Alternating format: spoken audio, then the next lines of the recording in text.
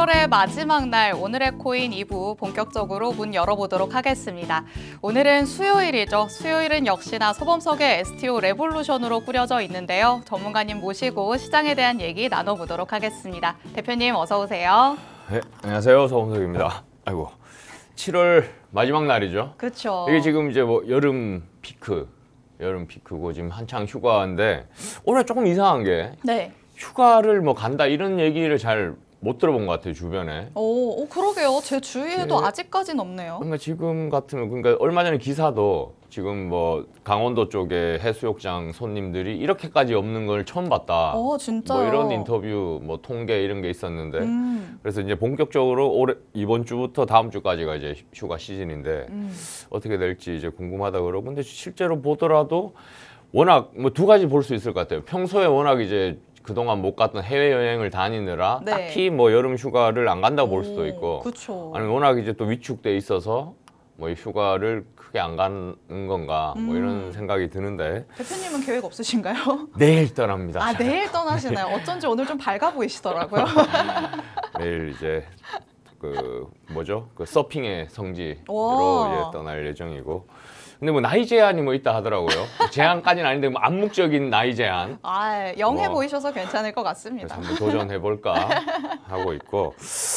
자, 그래서 어 이제 뭐 코인 얘기를 해보자면은 네. 지금 이제 비트코인 에 대한 전망들이 이제 하나씩 나오고 있는데 이제 유명한 사람들 거 이제 간단히 먼저 말해보면 Plan B라고 있죠. Plan B라고 이제 Stock to Flow 모델로 한때 정확히 맞춰가지고 엄청 유명했다가 뭐 하락장은 제대로 뭐 못 맞추 요금 조금 이제 뜸한 상황인데 그래도 이제 한번 보자면은 뭐 연말까지는 두 배를 상승할 거다라고 지금 전망을 하고 있고 또 24년, 28년까지 평균 가격은 뭐 50만 달러까지도 될 거다라고 전망을 하고 있습니다. 뭐 플랜 B는 늘 이제 뭐랄까요? 늘 이제 낙관적인 희망적인 전망을 하고 있고 그래서 이제 그래서 솔깃하기도 하고 정확하게 맞춘 적이 있어서 그렇기도 하고 이제 늘 이제 관심이 가는 전망인데 이렇게 전망을 했다는 얘기가 있었고 또 하나의 또 재밌는 거는 이제 비트코인 반감기가 4월이었는데 네. 보통 이제 2016년, 20년에도 이제 반감기가 있었는데 그 당시에도 반감기가 되고 100일 후부터 본격적인 상승이 있었다. 음. 그래서 그런 측면에서 지금이 이제 그쯤이 됐다. 그래서 곧 본격적인 상승이 되지 않을까 뭐 이런 전망도 있었습니다. 근데 지금 이제 가장 핫한 이슈는 그거라고 봐야 되겠죠. 트럼프가 최근에 그쵸. 비트코인 컨퍼런스에서 이제 연설을 하면서 네. 한 시간 정도 연설한 내용이 이제 상당히 이제 파격적인 내용들이 음. 있어서 그게 이제 가장 관심사고 아마도 올해 중에 가장 큰 테마는 대선 미국 대선이 아닐까. 그렇죠. 트럼프가 될 것인가 안 될 것인가 네. 또 누가 될 것인가 뭐 이런 측면에서 이제 있을 텐데 음. 그래서 일단 트럼프가 비트코인 컨퍼런스에서 뭐 어떤 얘기를 했는지부터 한번 얘기를 네. 해보면 좋을 것 같아요. 그래서 이제 뭐 각 언론사들도 이제 타이틀로 파격적인 발언을 했다라는 뭐 이런 얘기들을 했는데 상당히 이제 파격적인 얘기가 맞습니다. 그동안 얘기했을 때도 파격적이었는데 네. 그뭐 비트코인에 대해서 상당한 이제 지지를 보낸 이런 발언들을 했었는데 이번 컨퍼런스를 또 비트코인 컨퍼런스를 갔으니까 또 비트코인 커뮤니티들이 있는 곳에서 했으니까 얼마나 더 파격적이었는지 한번 보면은 미국을 가상자산의 수도로 만들겠다. 음. 뭐 하나씩 쭉쭉 얘기를 해볼게요. 그리고 비트코인을 미국의 비축자산으로 두겠다. 그리고 당선이 된다면은 우리의 공공의 적, 비트코인의 적, 게리 겐슬러를 바로 해임시키겠다. 네. 뭐 이런 얘기를 했고 해임시키면서 대통령 직속으로 이제 가상자산 관련한 대- 자문위원회도 만들겠다고 얘기를 했었고 또 지금 이제 계속 브리핑을 해주시는데 시가 전체 시가총액 있죠. 네. 금 시가총액도 언젠가는 추월할 거다. 음. 그리고 미국 정부는 절대로 비트코인을 팔지 않겠다. 이런 이제 정말 강력한 지지를 보내는 발언들을 했고 그래서 잠깐 뭐 그 이유 때문인지 잠시 상승을 반짝 상승을 하다가 네. 다시 이제 제자리를 찾아오는 이런 모습인데 그래서 비, 뭐 트럼프에 대해서 상당히 이제 관심을 갖게 되고 있고 또 뭐 한 측면에서는 요 컨퍼런스에서 발언을 하고 이제 또 상당한 후원금을 또 음. 모금을 했다고 합니다. 네. 그래서 모금해서 좋고 많이 당선되면 또 커뮤니티들도 좋고 뭐 모르겠습니다. 뭐 하여튼 트럼프가 상당히 파격적인 발언을 했다. 그래서 뭐 저희는 좋죠. 네. 일단 미국 대통령이 어쨌든 뭐 이 사람이 되고 안 되고 정치적 성향을 떠나가지고 비트코인에 상당히 지지를 보내준다는 건 상당히 좋은 거고 음. 저 선거 전략 차원에서도 네. 상당히 똑똑한 것 같아요. 그쵸. 트럼프가 예전에는 상 음, 약 반대적인 입장을 취한 적이 있었는데 네. 서서히 넘어와서 지금 완전히 돌아섰는데 생각해 보면은 비트코인 지지자 집단은 있으나 비트코인을 그렇게 막 죽도록 싫어하고 반대하는 집단은 없거든요. 그렇죠. 그래서 특정한 집단에 대한 확실한 지지를 이끌기 위해서 이런 뭐 선거 전략 차원에서는 음, 영리한 전략이었다. 이다라고 보이고 어쨌든 우리는 뭐 그것보다 어쨌든 비트코인 관점에서만 본다면은 네. 트럼프가 잘 됐으면 좋겠죠. 근데 이제 또 이제 막 선거 이제 얘기를 하면서 이제 그 반대편 민주당 쪽 지금 해리스가 지금 그 대선 주자로 나서고 있는데 네. 지금 이제 트럼프 캠프 측에서 나온 얘기입니다. 민주당의 이제 그 대선 주자는 해리스는 뭐 미국 정부가 지금 갖고 있는 미국 정부가 비트코인을 많이 갖고 있는 이유가 압수한 물량들이 지금 상당히 있죠. 네. 그 중에서 이제 3만 개를 덤핑할 계획을 갖고 있다고 말했다고 이제 트럼프 캠프에서 말을 했죠. 음, 그래서 이제 민주당은 그 비트코인을 반대하고 있고 우리 트럼프는 비트코인 적극 지지한다. 지금 이렇게 이런 이제 전략을 상당히 취하고 있는데 네. 근데 실제로 보면은 이제 아직 민주당은 그동안 이제 반대적인 그런 이미지가 있었고 뭐 근데 지금 이제 현재 행보를 보면은 해리스는 이제 그 주요 블록체인 업체들이랑 뭐 만나기도 하겠고 하면서 근데 우리가 적극적으로 지지한다 이런 표현은 아직 안 하고 있지만 네. 그래도 우리는 블록체인 비트코인에 상당히 관심이 있다는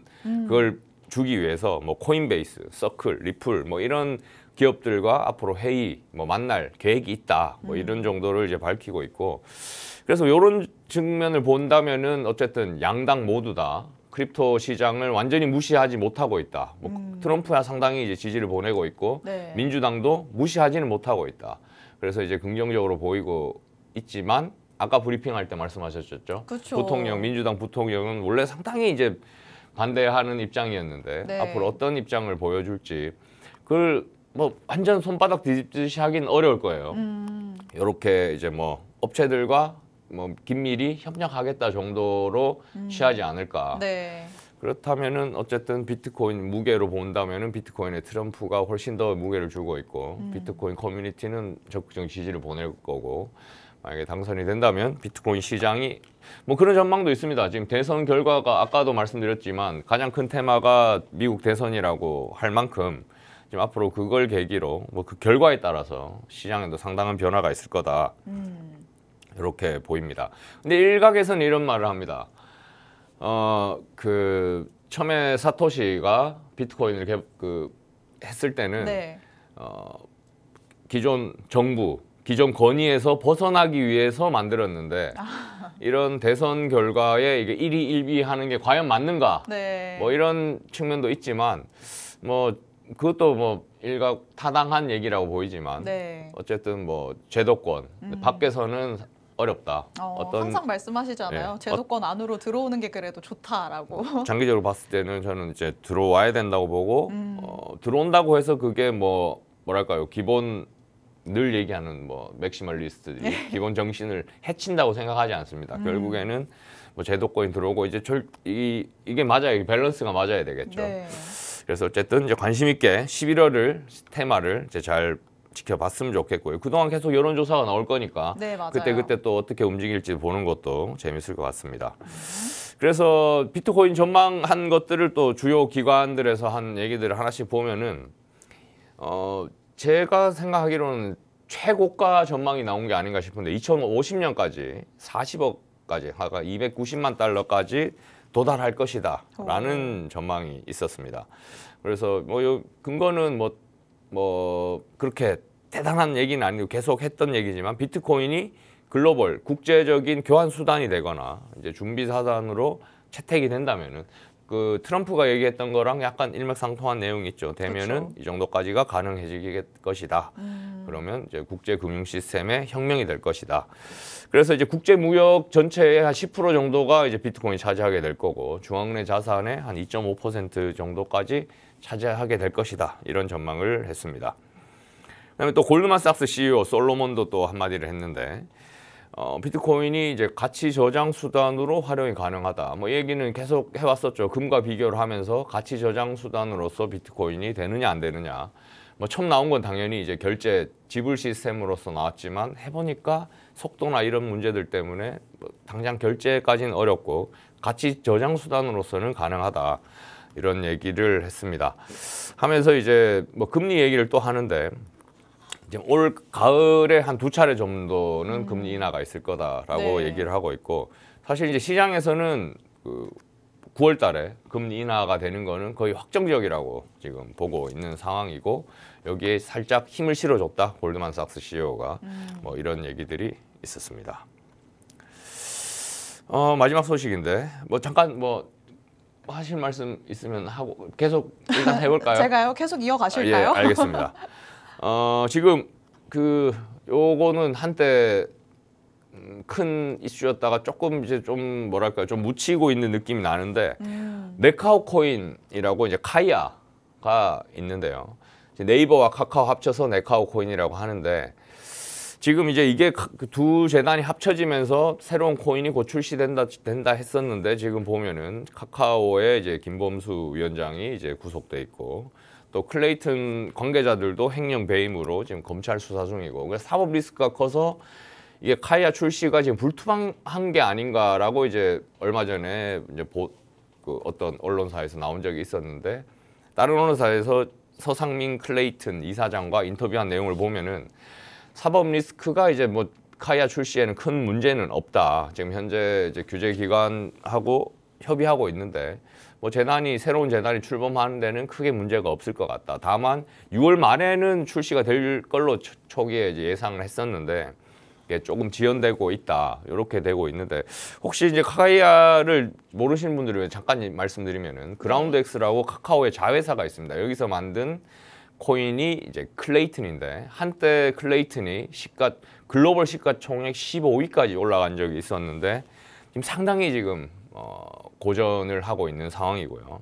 또 네이버에 또 라인이 있죠, 라인. 라인에서 만든 코인이 이제 핀시아라고 있었는데 요 두 개를 합한다는 얘기입니다.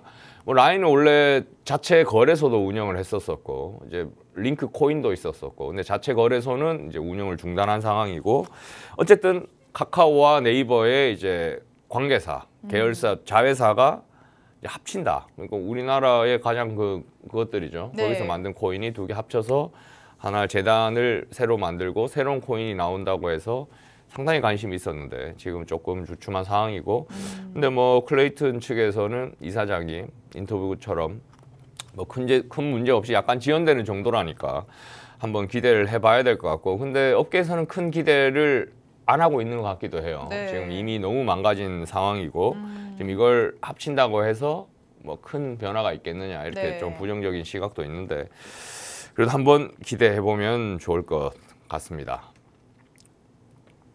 네, 대표님께서 또 이렇게 시장 전반에 대한 이야기들 짚어주셨습니다. 우선 비트코인 흐름과 관련해서도 반감기 후에 100일 정도가 지났을 때 상승 흐름이 나왔다라는 분석들이 많이 있다는 거 여러분도 아실 거라고 생각합니다. 이제 그 시기에 도달을 했기 때문에 앞으로는 조금 상승 흐름이 나오지 않을까 기대를 해봐도 좋겠다라는 말씀을 해주셨고요. 그리고 또 여러 가지 발언들이 있었죠. 트럼프 전 대통령도 금 시총을 비트코인의 시가총액 이 추월할 것이다 라고 얘기를 하기도 했었고요. 여기에 더해서 바네크까지 2050년까지는 290만 달러에 도달할 것이다 라는 얘기를 했다고 합니다.